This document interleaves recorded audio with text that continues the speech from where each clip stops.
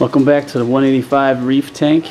Um, I my last video was the LEDs and Miracle Mud and this video here I am making it after two weeks of that because I have noticed I'm having some problems with some of my corals mainly the hard corals.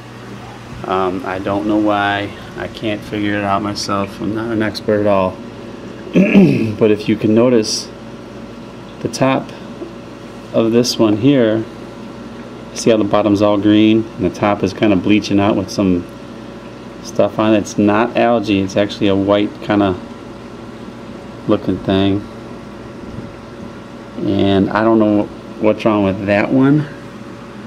And then this one here, this is basically all white except for the bottom trunk on it. No polyp extension, no nothing. Um, last week, I'm sorry, Sunday, I did a uh, 20 gallon water change and um, as like, you know, the regular monthly kind of thing.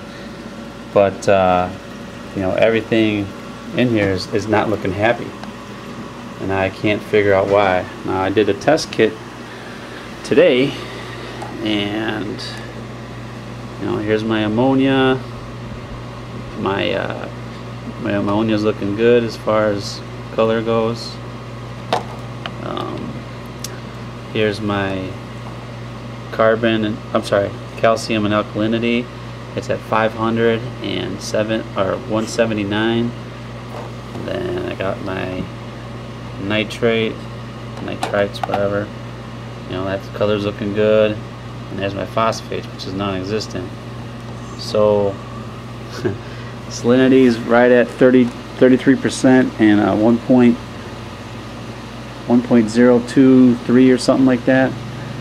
And everything is right in the parameters of what's it's supposed to be. And at the same time, I cannot figure out why I'm losing corals. Uh, the timeline is still um, 9 hours on the LEDs and I'm, I'm guessing you know is it because that they're getting burnt out? Maybe is that why this is turning all bleached white because it's getting burnt out? Is there not enough uh, bacteria going on in the tank? Because I only have two fish. Um, you know I, I have no clue. But you know I mean, there's a couple things in here that are going good and there's a couple things that are going bad and um, I don't know why the why the ones that are going bad are going bad. So, any advice would be would be great. A couple of good things I did notice is that uh, these uh, caps are actually calcifying themselves to the rock. You know, getting thick around the edge and starting to branch out and grow. Same thing with this one. It's getting thick along the bottom here. It's actually calcified itself in the corner, and uh, you know it should be branching out too. So, yeah, frog spawn's always looking fine. Not worried about that one so far. Uh, the Xenia's getting a little bit bigger, liking the spot it's at. And then these zoos, actually, if you look closely, I have a couple new ones that are starting to spread out. So that's really good. This is my oldest frag. This this one is my oldest oldest frag. So it's good to see that some stuff is actually growing in the tank another cap.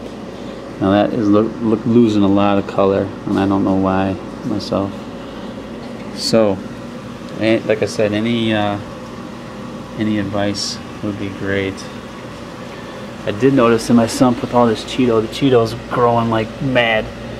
Um, but then again, that's not exactly hard to do, but there are a bunch of copepods running through the actual mix in here. I don't know if you can spot one, but you know, sitting around here watching it, sometimes you'll see them running through and doing their thing. So, uh, don't know why, can't figure it out, but uh, any advice would be great. Thank you.